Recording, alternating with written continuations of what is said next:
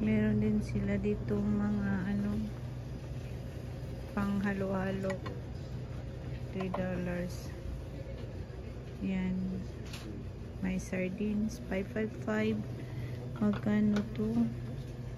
1 dollars and 79 cents. Dito. May kape, may noodles cup.